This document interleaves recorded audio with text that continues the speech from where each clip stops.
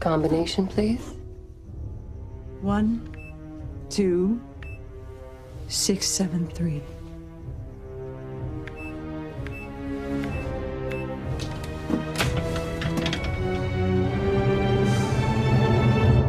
It's empty.